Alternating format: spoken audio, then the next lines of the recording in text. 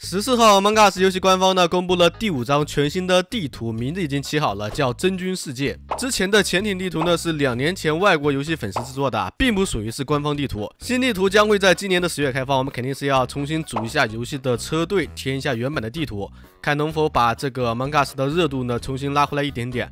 哎，其实最好早点开放创意工坊啊，让很优秀的模组呢能够让大家很轻松的体验和游玩。地图的背景呢是船员迫降到了荒岛上，到处都是蘑菇、棉花糖以及奇异的植物。我们先看一下官方的预告片啊，稍后做简单的分析。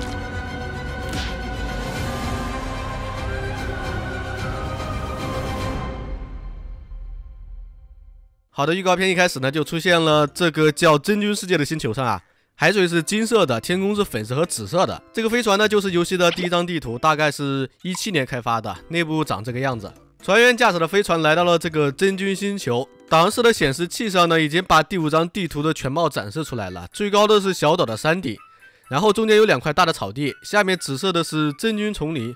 非常的茂密啊，左边是沙滩，目前不知道海水里面有没有可以互动的地方。然后小蓝在看一些细节的时候呢，突然一个蘑菇从显示器里长出来了，非常的奇怪呀，说明这里的真菌呢有强大的腐蚀能力，甚至能以金属为食。这时候在操纵的小红呢发现操纵杆动不了了，然后小黄和小蓝呢让他赶紧跑，整个飞船呢应该是要报废了，轰隆一声呢在天上就直接炸了。不过全员都上了登陆舰，哎，这里就是进入游戏等人时候的地方啊。哎，这个小红还掉下去了，生死未卜。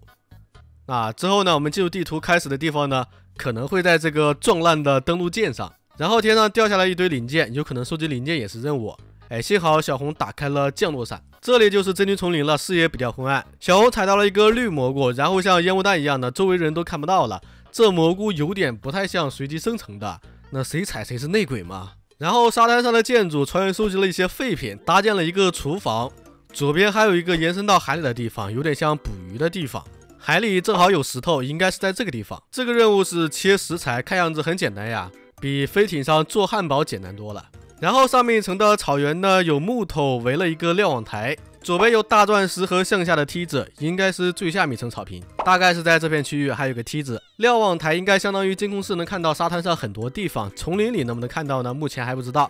此外，这两个应该是通道，那个可以跳进去。然后左下角和左上角呢各有一个房间，右上角露出了一点点幕墙，似乎也有一个房间。我们先标注上。看来呢整个地图还是非常的大呀，应该比飞艇大。通过望远镜呢，可以看到沙滩上有个篝火，有个任务是烤食物。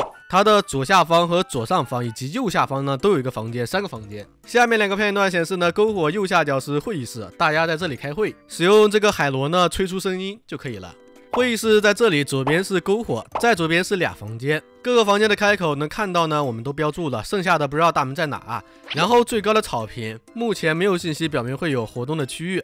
那最高呢，有可能会到第一层的草坪。那路是怎么通的呢？回看丛林里面呢，有个十字路口，向上应该是梯子，左边可能去沙滩，这向下和向右不太确定呀，感觉右边很有可能还有房间或者是活动区域。